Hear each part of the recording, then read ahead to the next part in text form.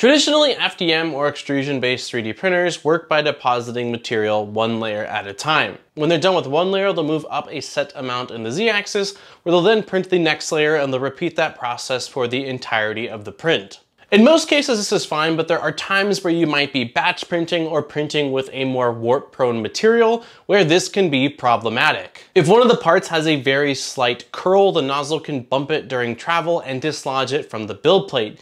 And if you don't have one of these sort of cancel object plugins out there or catch it in time, it can cause you to lose your entire batch of parts. In today's video, we're gonna take a look at Z-hopping. A slicer setting that when enabled, the nozzle will raise before traveling and then lower to continue printing. This helps to minimize the risk of bumping parts and can also be used to do cool things like multicolor prints on the same layer. So with all that being said and without further ado, let's get right into today's video.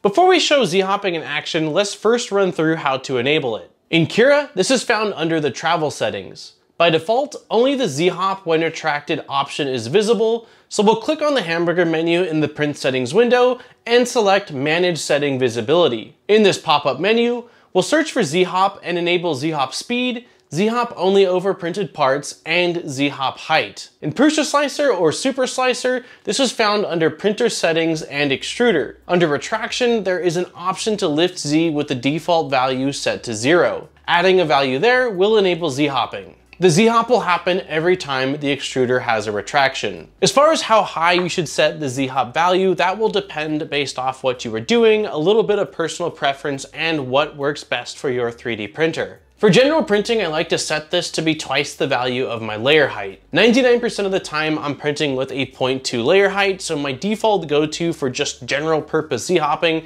is 0.4. In most cases, this gives me enough clearance to avoid any slight curling that may be happening on the edge of a printed part. With that enabled, we'll slice up a file and hit print to see the Z-hopping in action. At point four, you really have to look closely to be able to see the Z-hop happening, so I went ahead and sliced a print with a one millimeter Z-hop to sort of exaggerate it a bit and make it more visible on camera. You can play around with the speed settings as well, but I found that the default values tend to work quite well and are at least a good place to start. You can also use Z-hopping to print with multiple colors on the same layer. For the Voron 0.1, the mini afterburner toolhead has two colors on it, and I use Z-hopping to get this dual color look. To do this, I drag the Voron logo model and toolhead into the slicer and zoom in to line them up with each other as best as I can. Then I delete the toolhead from the build plate, slice the logo, and go to the preview window to see how many layers it is. The logo is three layers tall at a 0.2 layer height, so I know the total height is 0.6 millimeters. Next, I load the sliced part onto the printer and print it out in the color I want for the logo. When the print completes, I leave it on the build plate, set the heated bed to stay on to help with adhesion, and swap out filaments for the color that I want the toolhead to be. I always disable skirts when doing color swaps, but if that's something you didn't do, then you'll want to remove any sort of skirts or extra material on the bed at that point and just leave the printed model. Heading back into the slicer, I hit Ctrl Z on the keyboard to undo the delete command, bringing the toolhead back where I had it, and I delete the logo instead. All that we need to do is activate Z-Hop and make sure the height is at least 0.6, which is the total height of our logo. I always prefer to give some padding, so I set the Z-Hop height to 1 millimeter slice up the model, send it off to print, and watch like magic as the nozzle jumps over the part sitting on the bed. The end result is a multicolored part with different colors on the same layer. I even took a vector of the Modbot robot and chopped it up into 54 different pieces in Onshape. I then exported the model into Super Slicer, where I used this exact same method to print six colors on the same layer. I did set the nozzle to be a bit too close to the bed for this because I had some concerns about some of the parts not sticking. All that I need is to apply a coat of some clear epoxy to smooth out the top layers, but it turned out awesome. If z-hopping is so great, why don't we leave it on all the time? Well, there are three potential reasons why you may not want to have z-hopping on for every single print. The first is increased print time. Now, in most circumstances, this isn't a very big deal, and at the most, z-hopping will maybe increase my print time for a few minutes. But in some extreme circumstances where you have just an insane amount of retractions, like the wire mesh model that I found,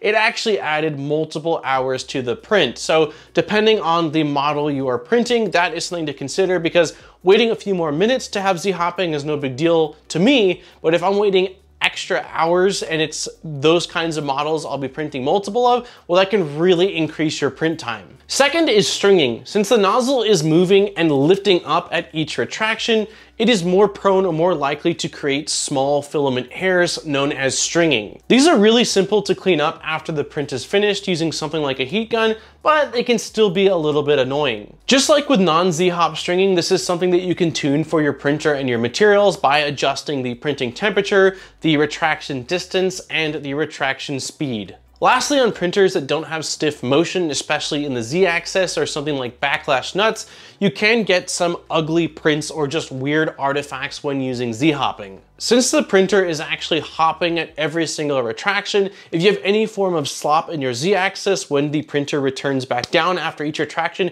it can cause you to get some inconsistencies or roughness in your layers. If you enable z-hopping and get rough parts, that might be the case for your printer. Definitely when using a machine like the Ender 3 that uses roller wheels and is only supported on one side, you want to make sure that you have the eccentric nuts set correctly so that way you have proper tension. For me, it's a mixed bag, and some of my printers tend to have Z-hopping permanently on, while others I just don't have it on.